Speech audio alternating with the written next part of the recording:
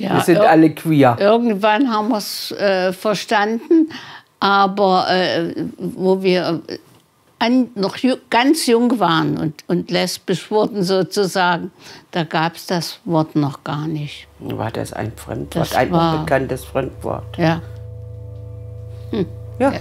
ja.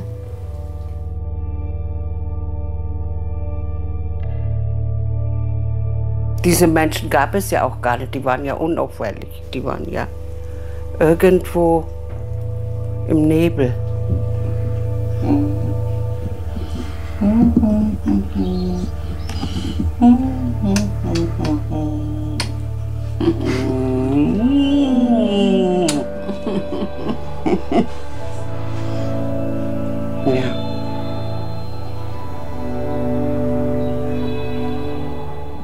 Kreuzberg im Rathaus, zehnte Etage, gibt es Gott. eine Toilette. Wie heißt sie denn? Irgendwas mit, mit Bi? Nee. Nee, Äh, mit Gender auch nicht. Nee, aber nee. mit äh, irgend so ein Wort. Gibt es eine Toilette, für alle. für alle ist, Ja. für Weiblein, Männlein, Kinder und, und, und. ste- die, die, wie heißt das? Ja, wie heißt das nochmal für alle? Diversity? Diversity. Wie ich mich nenne? Ich bin und bleibe ein schwuler, ein schwul lebender Mann. Nichts anderes. Ich bin nicht queer, ich bin nicht. Aber bist du nicht eigentlich bisexuell?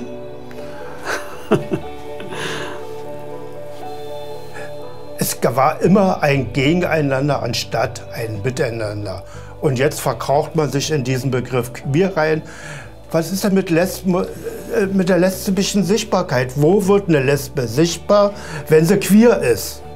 Ah, das habe ich ja nicht verstanden. Das geht doch gar nicht. Dann ist sie queer, aber nicht lesbisch. Und eine queere Community gab es nicht und wird es nicht geben. Das stimmt ja Den, den gab es schon vor 50 Jahren, wo die Lesben gegen die Schwulen gekämpft haben. Und jetzt ist es ja fast noch schlimmer geworden. Lächel doch mal. Ich, ja? Ja, wer denn sonst?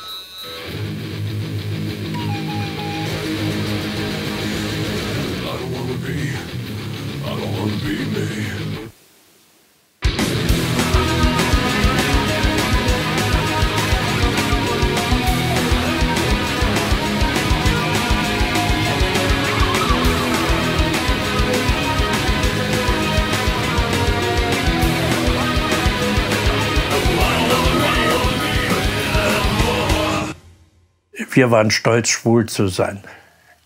Ja? Und äh, warum muss ich das jetzt verdecken? Für mich war Schwulsein ja kein Schimpfwort, ja? sondern das Normalste, was es gibt. Aber quer, ja, kann alles sein. Quer ficken, quer leben und sonst was. Ich lebe meinen Weg gerade und muss nicht nach allen Himmelsrichtungen. Und äh, ich weiß nicht, ich kann mit dem Fühlen nichts anfangen. Ich kann auch nichts, also mit den neuen Worten, äh, weibliche Enden und sonst was, das ist einfach zu weit. Da komme ich nicht mehr. Das ist nicht mehr meine Generation. Sollen sich andere damit totschlagen. Ich kann es verstehen, natürlich, wenn sich jemand, ähm, der, der in den 70ern, 80ern auf die Straße gegangen ist, seine Freunde mit HIV verloren hat und, und, und, und, und. Kann ich verstehen, der sich jetzt herstellt, ey, sag mal, zeig mir Respekt, ich habe das geebnet, was, was du, was du, wo du drauf gerade ruhst. Ähm, kann ich verstehen, aber er muss halt genauso gut auch sehen, dass es jetzt halt andere Kämpfe gibt, die gekämpft werden müssen. Es ist gut, wenn junge Leute sich wieder äh, politischer sehen und nicht so wie wir. Wir haben ja eine Zeit lang gedacht, okay, jetzt haben wir die Homo-Ehe, jetzt haben wir die eingetragene Lebenspartnerschaft, jetzt sind wir gesellschaftlich ange angekommen, jetzt kann man sich zurücklehnen. Ich glaube schon, dass es ähm, vielleicht nicht in Deutschland, aber vielleicht in Europa doch noch viel zu tun gibt, wenn es um die Anerkennung von schwulen Leben und damit auch von anderem Leben geht. Und die Debatte, ja, sie ist anstrengend, sie ist nervig, sie wird manchmal auch mit den falschen Mitteln geführt. auch manchmal auf Nebenkriegsschauplätzen, aber die Debatte an sich ist wichtig. Und ich finde, die muss geführt werden. Und wenn da gesagt wird, du als schwuler, privilegierter Cis-Mann hast jetzt erstmal gar nichts zu sagen, denke ich mir, ja, dann sagt ihr doch mal, was ihr zu sagen habt und ich höre mir das mal an. Solange sie mir dann nachher die Stiefel lecken wollen und dann doch auf toxische Männlichkeit stehen, ist mir das eigentlich ziemlich egal.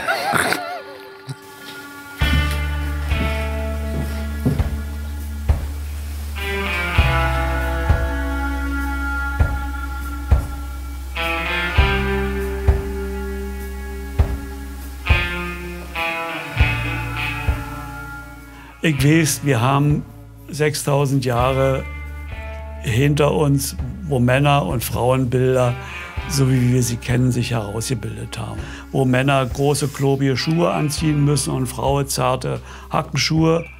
Und dass da die jetzigen Generationen sich gegen auflehnen und sagen, das will ich aber nicht, das bin ich ich. Ich bin da was anderes, ich werde da nicht wahrgenommen in diesen. Äh, und dann auch richtig Power machen. Das finde ich völlig in Ordnung. Also wir haben uns damals halt als, ich bin jetzt Mama, ich bin lesbisch, Mama, ich bin schwul. Und äh, dann war ja erstmal so, äh, ich muss jetzt mal damit umgehen, dass mein Kind halt irgendwie ein Homo ist. Heute ähm, ist es dann so, dass sich die Eltern damit auseinandersetzen müssen, ähm, dass mein Kind keine Lust hat, sich in ein binäres Geschlechtermuster einzupassen.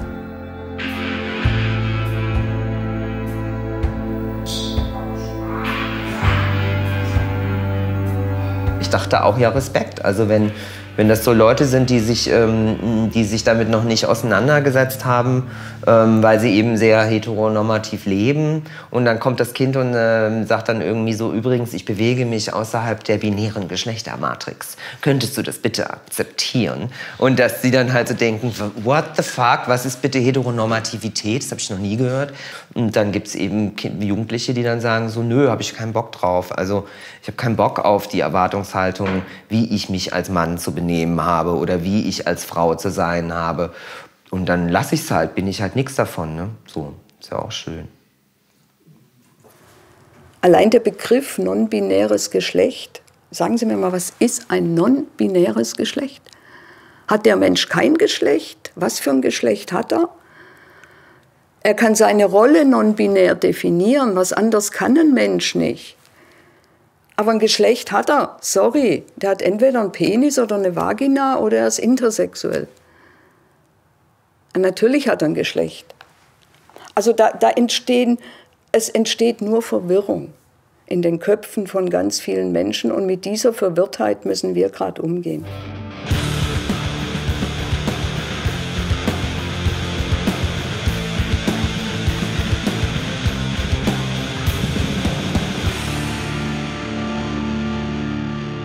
Queerness und eine Vervielfältigung von Geschlechtskategorien ist ein Symptom davon, dass die Bedeutung der Geschlechtskategorien sich auflöst.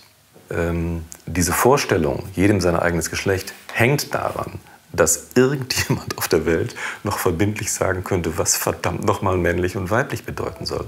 Und das kann kein Mensch mehr.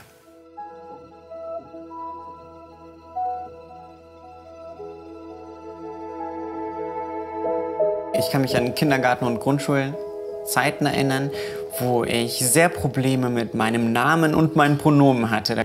Ähm, also da hat es auf jeden Fall das Unwohlsein schon begonnen gehabt. Also in Pubertät, alles, was ich verändert habe, habe ich quasi abgestoßen an meinem Körper, habe ich überhaupt nicht gemocht. Ähm, habe mich, muss ich ehrlich sein, sehr hassen gelernt, ähm, was dann äh, hinging bis zu sehr großen psychischen Problemen äh, und damit auch verbunden irgendwann ein Suizidversuch in jungem Alter.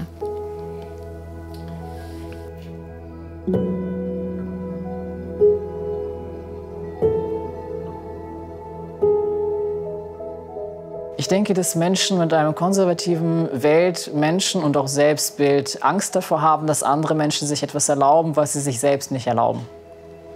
Das können sexuelle Freiheiten sein, das kann auch vielleicht einfach nur die Freiheit sein, über sich zu sagen, wer und was ich bin, ohne die Nachbarn vorher fragen zu müssen. Ich glaube, das ist eigentlich die größte Angst und auch der Grund für das Unwohlsein.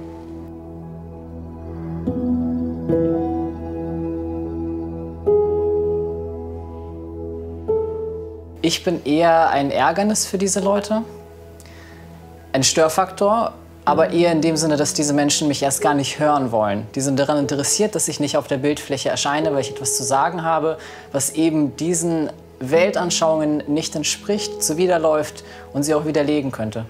Viele Leute stellen sich selber nicht gar nicht die Frage, sondern sie akzeptieren einfach das Korsett, in das sie reingeboren werden. Und im Endeffekt ist Gender wie so ein Käfig. Aber die meisten Leute, sie akzeptieren einfach, ah, ich bin in diesen Käfig geboren.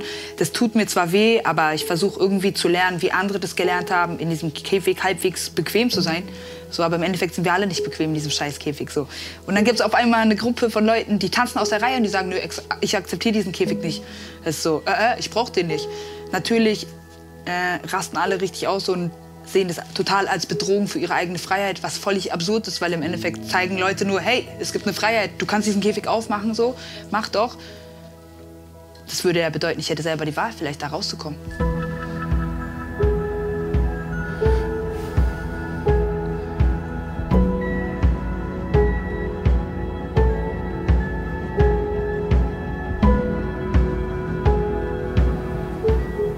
Ihr könnt heiraten und ihr könnt äh, zum Sozialamt gehen und sagen, dass ihr ein Paar seid. Auf der Arbeit kannst du äh, dich outen und ähm, vielleicht erfährst du dann auch doch Diskriminierung. Also Deutschland ist nicht äh, befreit von Diskriminierung, aber alltäglich äh, schon paradiesmäßig für äh, Menschen aus repressiven Ländern wie Russland.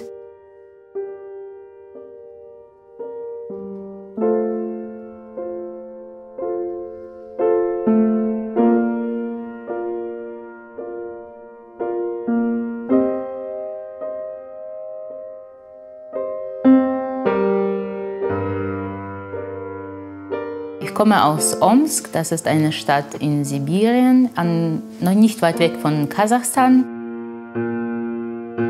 LGBTQ-Community ist schon seit 2013, oder ich glaube schon ein bisschen vorher, zum Feind äh, des Volkes äh, ernannt. Und ähm, so eine Diktatur braucht ja immer einen Feind. Und in diesem Fall sind wir sind wir das, also LGBTQ-Community. Oder was wir für sie repräsentieren. Wir, ähm, wir, sind, wir repräsentieren den Westen, ähm, weil wir Freiheiten fordern für Selbstbestimmung und äh, für freies Ausleben unserer Identität. Und das gehört nicht in Russland. Also in Russland gäbe es eigentlich keine Homosexuelle, wenn es keine westliche Propaganda gegeben äh, hätte.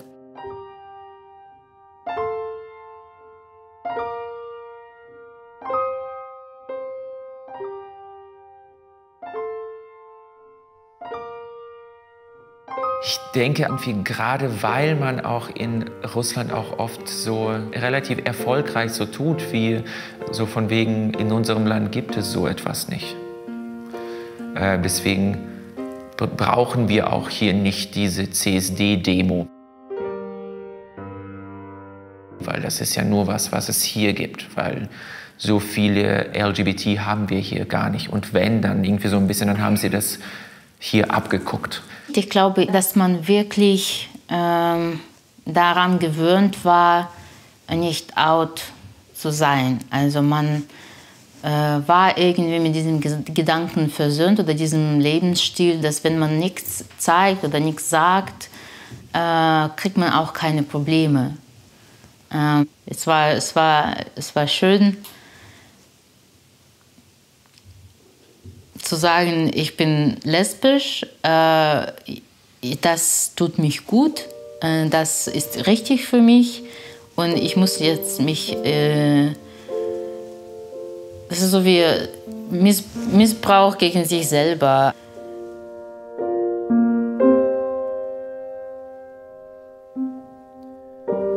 I'm counting the steps between those walls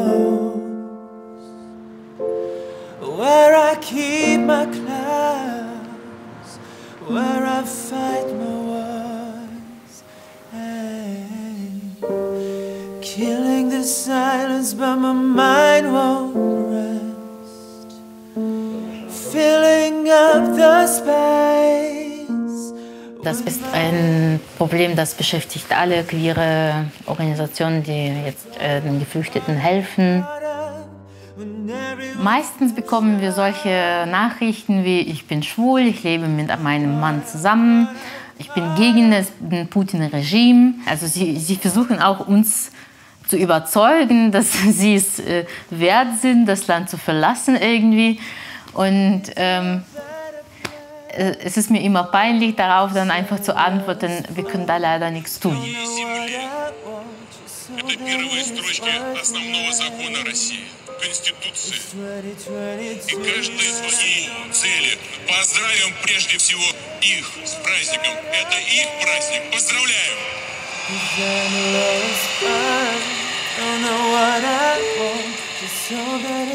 А на Донбассе существует неприятие, принципиальное неприятие так называемых ценностей, которые сегодня предлагаются теми, кто претендует на мировую власть. Сегодня есть такой тест на лояльность этой власти. Некий пропуск в тот счастливый мир. Мир избыточного потребления. Мир видимой свободы. А знаете, что это за тест? Тест очень плохой, простой и одновременно ужасный. Это гей-парад. Ich kann das einfach nicht ernst wahrnehmen. Also was, äh, womit sie diesen Krieg begründen. Also ist mir alles egal. Alles, was sie sagen, ist einfach Quatsch. Was geht in so einem homophoben Mann dann in diesem Fall vor? Was, also was passiert? Also wie sehr muss dich das Thema L, äh, LGBT und Vielfalt stören, dass du nicht nur sagst, oh, irgendwie kann ich damit nichts anfangen. Ich gehe dagegen vor.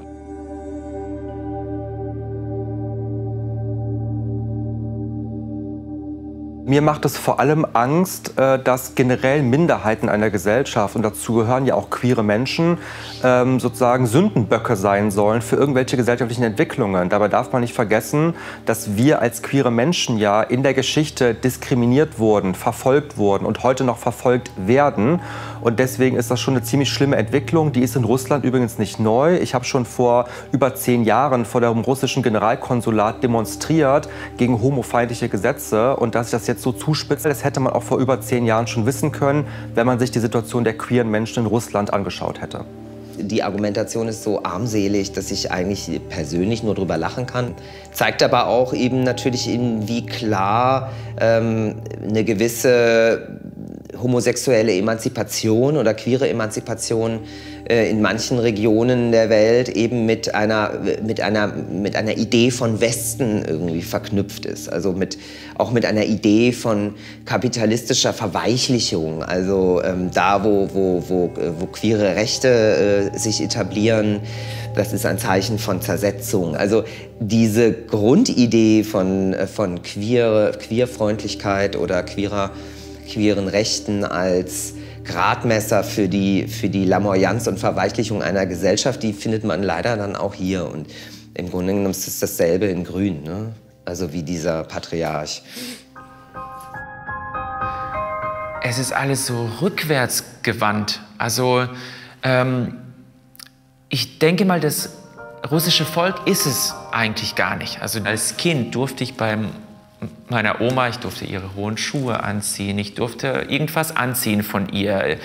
Sie hat mich ab und zu geschminkt. Ich konnte wirklich, ich konnte bei ihr immer, immer so sein, wie ich bin, wie ich sein will. Und das, da war nie irgendwie sowas wie das, das, das darfst du nicht, das macht man so nicht. Und auch bei meinem Opa, obwohl er total so der typisch russische Mann ist, also ganz klar. Und auch er war so, wenn ich irgendwelches Mädchenspielzeug haben wollte, was ich eigentlich nicht so haben durfte oder wie auch immer, dann ist mein Opa mit mir dahin und hat mir das geholt.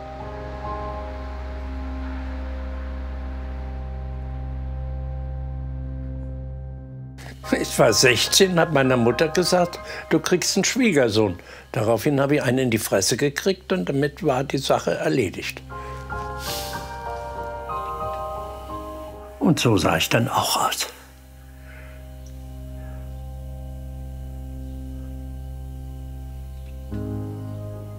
Und so heute, alter Mann. also in der Adenauer Zeit bin ich ja ein paar Mal von der Polizei aufgegriffen worden und ein paar Mal hat man mir erzählt, nochmal und ich lande in irgendeinem Heim. Aber das hat mich ja nicht abgehalten. Ne? Den Paragraph 175, den haben wir nun in jeder Form noch miterlebt. Deshalb waren wir alle heimlich schwul. Man hatte, jeder hatte so eine Freundin, man nannte sowas Sandgräfin, ne? um den Leuten Sand in den Augen zu machen. Und mit den Freunden, die habe ich dann immer mitgenommen. Kam dann zu allen Festen oder ins Theater, hat man sich dann nicht getraut, ganz offiziell schwul zu sein. Das kam ja später.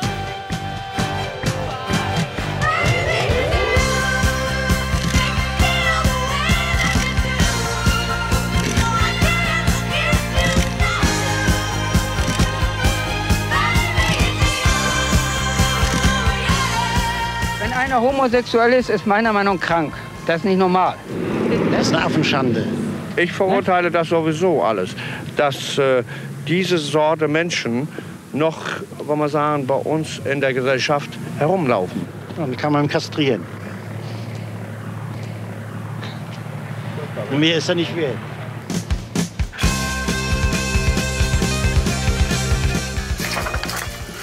Ist die Rehabilitierungsbescheinigung und zwar ist die ausgestellt worden am 2.10.2017.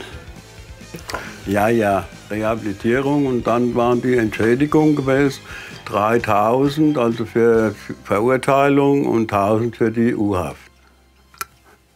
Nee, geht mir noch nicht besser.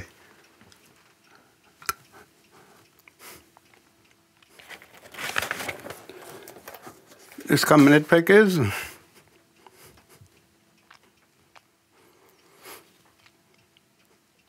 Das ist halt, äh, das- das verfolgt einem immer. Das kommt immer wieder.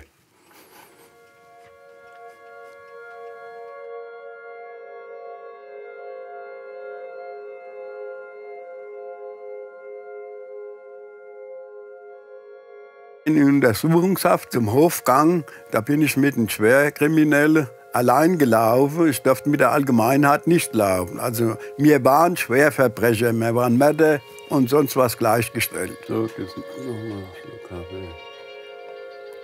Gut, danke. Die eine Nachbarin bin ich vorbeigelaufen, da hat sie dann immer angefangen. 175er, 175er Strich Jung. So. Wie dann das Ganze passiert ist, ist die Mutter zum Hausarzt hin und hat den gefragt. Dann hat der Doktor angesagt, "Oh, Fräulein Traub, wusste sie das nicht? Und ich sagte, nee. Er hat nur zu ihr gesagt, ich sollte mir da keinen Vorwurf machen. Sagte, das ist angeboren und es ist nichts dagegen zu machen. Also wir müssen unser Leben so leben, wie es ist, selbst wenn die Gesellschaft auch dagegen ist. Ach, mein Vater, der ist da, da in seiner Firma ja riesig angegriffen worden. Da hat mein Vater gesagt, wenn ich so einen hätte, den täte ich um, den täte ich totschlagen. Ja, und lauter so Sachen da. Ne? Ich bin dem Haftrichter vorgeführt worden und dann hat der Haftrichter losgelegt. Wie, wie hat er das gesagt gehabt? Ja, äh, Sie haben doch da gelutscht und das und jenes. Und der, der, Speichel ist aus dem Munde rausgelaufen. Es war so was Ekelhaftes. Und geben Sie es zu, geben Sie es zu, geben Sie es zu.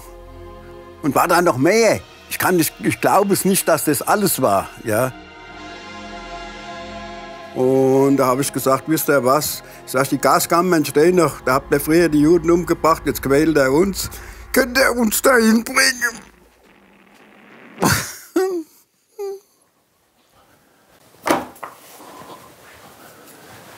Das waren die schwärzesten Tage meines Richterlebens, diese Urteile.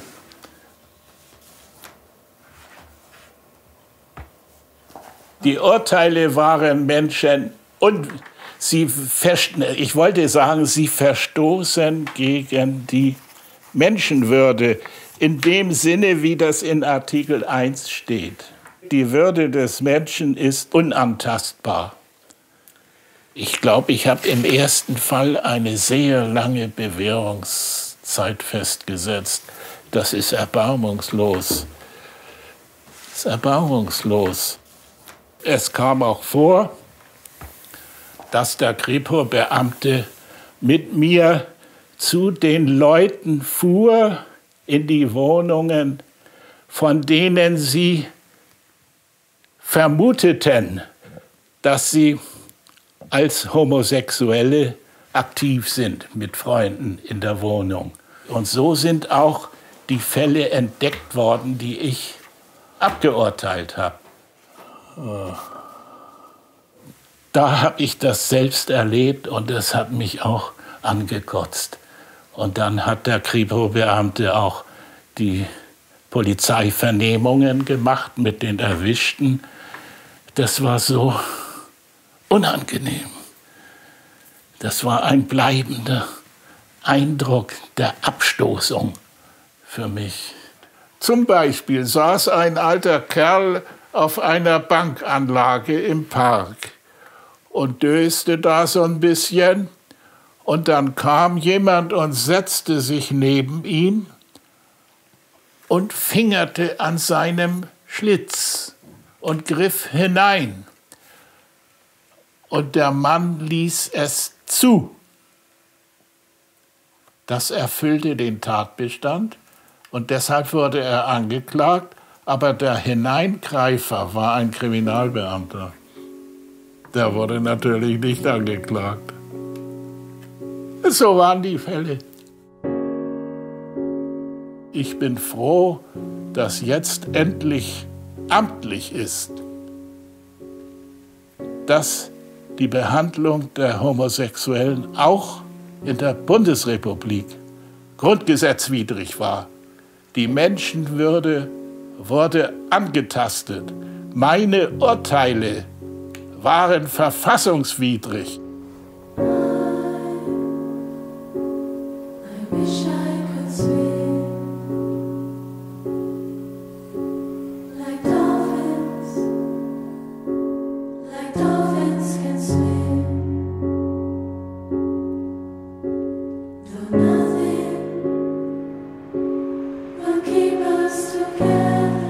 Habe wahrscheinlich mehr Glück als Verstand oder mehr Verstand als Glück gehabt. Ich war sehr vorsichtig.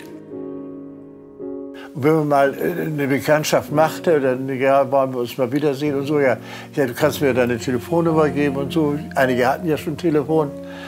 Das äh, machte man nicht, weil man wusste, dass wenn die Kripo äh, einen schnappte, dann wurde zuerst das Notizbuch gefilzt. Ein Schulkamerad erzählte mir, ja, auf der Schlossstraße gibt es so eine öffentliche Toilette, da treffen sich Schwule. Und ich war neugierig und bin dahin. Und dann war das dunkel und irgendwie voll mit Männern und unheimlich. Und plötzlich Polizei, Taschenlampen. Ich weiß nicht, wie alt ich da war, 17 oder 16.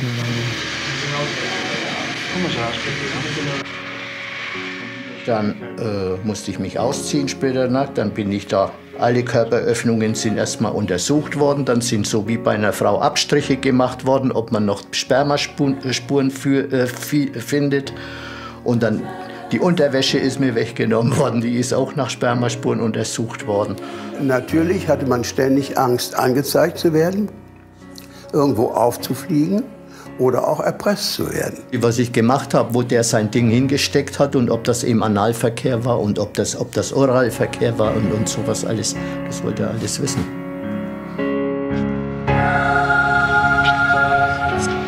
Wo wohnen Sie? In der Landwehrstraße. Landwehrstraße. Und Sie? Ich habe auch keinen Auftrag an meinen Platz Warum wollten Sie sich so lange in der Toilette auf? Bei Ihnen natürlich sehr gefährlich, wenn Sie jetzt schon wieder in der Nähe dieser Strichplätze rumsaßen gehen. Also, das, das gefällt mir schon nicht. Das sage ich schon, das mag man jetzt schon notieren. Okay? Ihren Ausweis, bitte schön. Ja, ich habe Und ich habe auch Menschen erlebt, die oder gekannt, die ihrem Leben ein Ende gesetzt haben, aufgrund dieses Drucks in der Erwartung einer Verurteilung.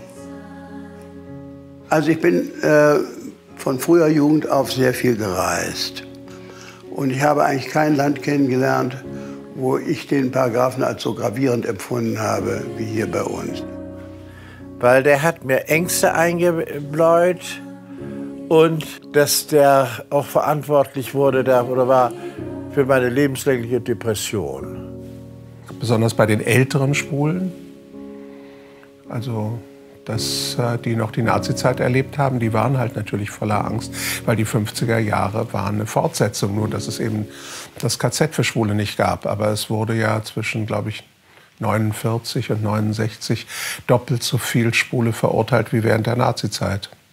Es gab eine gewisse Liberalität in den Großstädten und besonders wenn du jung bist, dann bist du halt mutiger oder nicht so ängstlich oder und so war das auch bei mir, dass ich eher mich aufgeregt habe, dass zu wenig von meinen Freunden, schwulen Freunden sich irgendwie gewehrt haben oder selbstbewusst waren oder so, sondern dass diese Ängstlichkeit vorherrschte.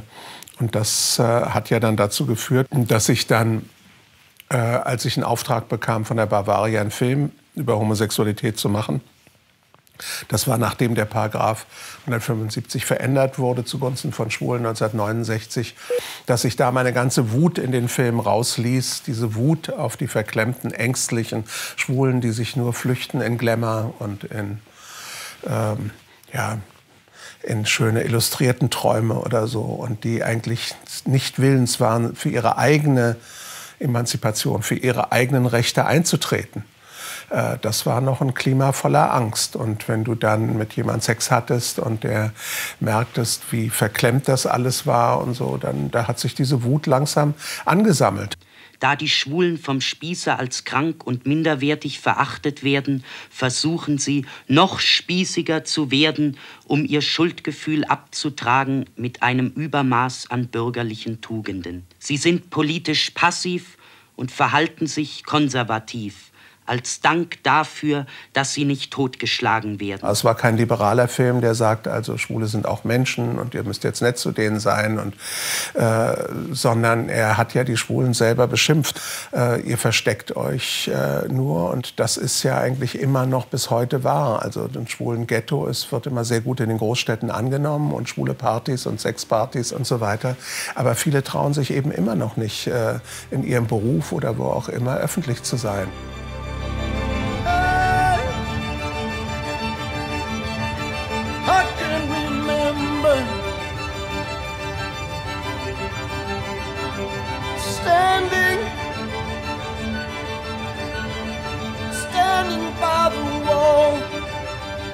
Ich wusste, dass ich von der Stasi beobachtet werde.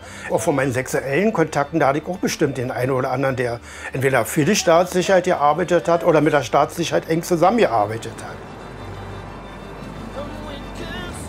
Männer, die mit Männern Sex haben, können nicht Offizier sein. Sie verstoßen gegen die sozialistische Moral und Ethik. Und äh, das Beste ist, dass das Dienstverhältnis äh, aufgelöst wird.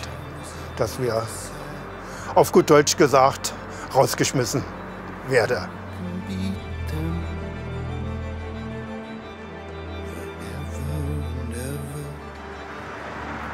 Ich habe natürlich nicht darüber berichtet, mit wem ich an der Offiziersschule rumgekramt hatte oder mit wem ich auch einmal hier unten im Keller rumgekramt hatte. Das, das geht keinem was an. Das ist mein Privatvergnügen gewesen. Ja, so war das.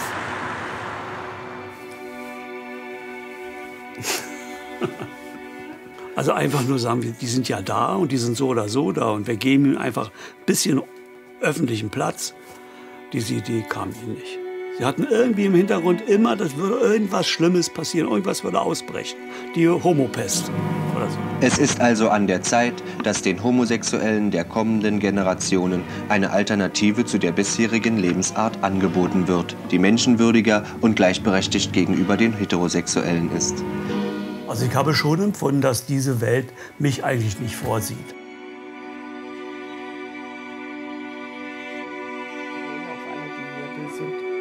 besonders auf dich.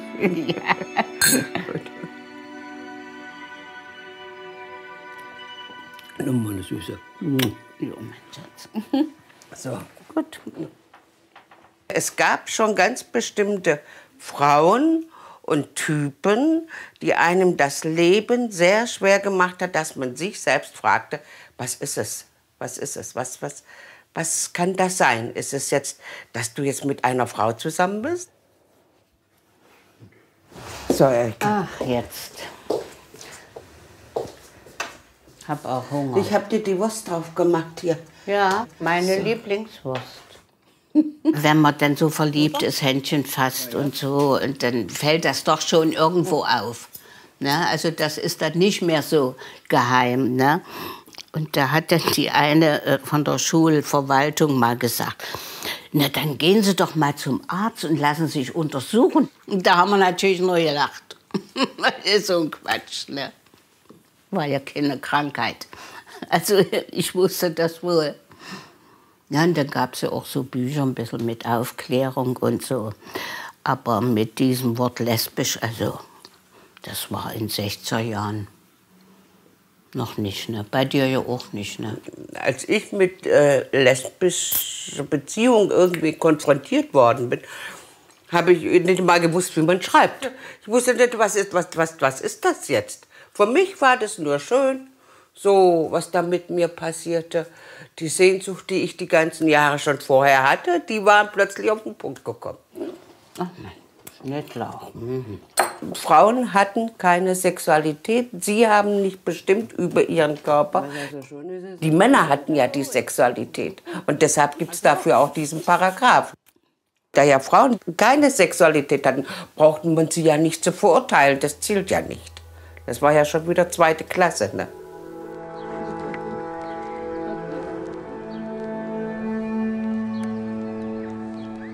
Der Staat hatte ein klares Verfolgungsinteresse gegenüber Männern, die Sex mit Männern hatten und Beziehungen mit Männern hatten. Und ein klares Verfolgungsinteresse gegenüber Frauen, die Beziehungen mit Frauen haben, ist nicht festzustellen. Davon wissen wir nichts.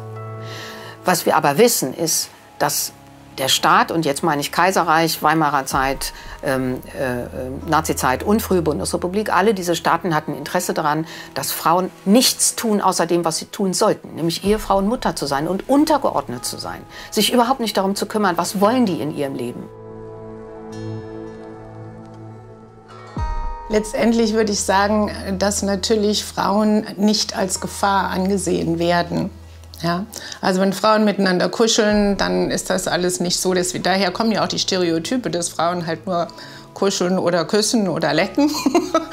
Und äh, viel mehr wird ja da nicht rein interpretiert. Ja. Insofern sind die nicht so gefährlich, also rein von der Sexualität her. Und es ist natürlich so, dass es auch wieder eine extreme Diskriminierung ist, auch innerhalb der queeren Szene oder ich sag mal von Schwulen gegenüber Lesben war das früher doch sehr oft äh, auch zu merken. Also dass Frauen letztendlich doch nicht oder Lesben nicht so ganz gleichwertig angesehen waren. Und natürlich muss man auch einfach sagen, wir leben in einem Patriarchat. Ja? Am Abend hat der Bundestag den historisch belasteten Paragraphen 175 endgültig aus dem Strafgesetzbuch gestrichen. Die Abschaffung des Paragraphen 175 Gut, ich meine, es war ein notwendiger Schritt, aber das überschattet natürlich die Krankheit AIDS. Ich meine, die natürlich, als die Anfang der 80er Jahre, 81 wurde sie zum ersten Mal äh, öffentlich, da fing eben eine neue äh, Art von Diskriminierung an gegen Schwule und auch eine unheimliche Angst und äh, das überschattete sehr viel Emanzipationsbewegungen. Ich meine, das war furchtbar, ne? dass das sozusagen gerade, wo Schwule sich anfingen, sie zu befreien, dass diese fürchterliche Krankheit kam. Das, äh, das war eine schreckliche Zeit und ein ungeheurer Rückschritt. AIDS hat enorm, ich habe aufgehört bei 200 zu zählen. Also in meinem Freundeskreis, also speziell in München und in Amerika ging so schnell hops. Also ganz schlimm war es dann Ende der 80er Jahre, war es ganz schlimm. Als dann rauskam, dass ich auch krank bin, habe ich gedacht, naja, nun lebe ich nicht mehr lange, aber ich habe es überlebt. Das ist auch schön. Über 20 Jahre esse ich die Tabletten. Ich kann mich erinnern, als ich Wohnung gesucht habe in München im Jahr 1998, war die Aussage von der Vermieterin, als ich mit meinem damaligen Freund zur zweiten Wohnung gesucht habe, ihr habt so ein nettes AIDS, nicht, dass ihr dann damit die Fürst voraus austragen werdet und sowas. Also sowas hat man sich damals anhören müssen und da denke ich mir dann schon, ist jetzt nicht so, dass wir nur ein privilegiertes Leben hatten. Ich lasse die neue Generation, aber wenn es mir was nicht passt, sage ich auch noch immer meine Meinung, weil ich bin der Meinung, ich bin ja noch nicht tot. Ne? Die haben sehr viel da getan, aber natürlich können das die heute 24-jährigen Queer-Aktivistinnen nicht so nachvollziehen, weil sie damals nicht dabei waren. Und das ist ja andererseits auch das Schöne daran. Dass ansonsten müsste ja jeder immer sagen, ah, im Vergleich zu dem, was damals passiert ist, ist das ja, was wir heute mitmachen, äh, gar nichts und würde sich ja nicht engagieren. Äh, aber ich glaube, das ganz wesentlicher Impetus des äh, Aktivismus ist natürlich auch, dass man was ändern will und nicht, dass man was relativieren will. Verstehst du, ich weiß nicht, wie ich als alter, fetter Cis, weißer Cis-Mann, wie ich da jemand bin mit Privilegien, wie, woher kommen die, was sind das für welche? Das ist der Punkt, den ich einfach nicht verstehe. Und ich muss auch von keinem Sockel gestürzt werden. Ich habe ja letztens den Queer-Artikel, diese alten weißen Männer vom Sockel stürzt. Na, erstmal muss es einen Sockel geben. Da ist, wo sind da Sockel? Die Leute haben sich aufgeopfert, haben gemacht, getan. Es gibt keine lesbisch-schwulen Sockel. Ich weiß nicht, wie es heute ist, aber was ich heute wahrnehme, haben sich junge Frauen es heute fast schwerer, sich als Lesbe zu bezeichnen. Zumindest tun sie sich so schwer. Heute muss ich eine Butch fragen lassen, ob sie nicht doch ein lieber Mann wäre. Ja? So. Nur weil sie so und so aussieht und das gerne anzieht. Ich habe als junge Frau Krawatten getragen, weil ich das toll fand. Aber das war alles möglich, ohne dass irgendjemand sagt, oh hoppla, falscher Körper oder was. Diese Diskussion alle, diese Queeren und die anderen und, und, und. Äh, ich bin 78, ich muss mich nicht mehr rechtfertigen oder äh, Begründung finden, warum ich so bin. Also das ist, ja, ne? da habe ich also da, äh, das mache ich, führe ich einfach nicht mehr diese Gespräche. Ich lebe es ja nur schon äh, 50 Jahre oder länger. Ja. Und jetzt etabliert sich da ein Wort und eine Community, die meint, sie, sei, sie hätten jetzt die großen Freiheiten und würden die performen und machen aus meiner Sicht sehr viel Rückschrittliches, weil sich darin jetzt Menschen nicht mehr outen. Queer heißt einfach, oh, ich bin ein bisschen freier wie du, ich schlafe mit mehreren als du und ich bin nicht so eng wie du und denke, äh, äh, dass, wenn man lesbisch ist, nur mit Frauen schlafen will.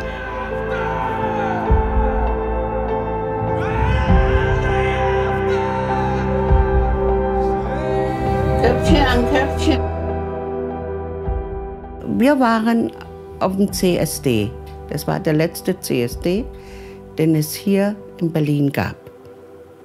Mhm. Vor Corona. Und das waren wir an der Siegeshalle, da standen wir und da standen sie in sechser, siebener Reihen. Lauter junge Leute. Und dann habe ich mir gesagt, mir kamen die Tränen. Vor Freude auch. Sagt, was für ein Glück für euch. Ihr könnt jetzt hier stehen ohne dass ihr euch schämen müsst. Ihr könnt aufrecht, mit aufrechtem Kreuz sagen, ich bin eine Lesbe, ich bin schwul. Ich bin, bin das, was ich bin und ich bin stolz darauf. Das ist die Geschichte. Ja, genau. Und wir waren das Fundament mit. Und die andere Generation, die mehr gelitten hat, ja, die haben das auch getragen für uns, ja. dass wir einen Schritt weiter gehen konnten. Und diese, nächste, diese Generation, die jetzt jung ist, also da muss ich sagen, die können wirklich Demut haben in ihrer Freude. Ich bin schwul.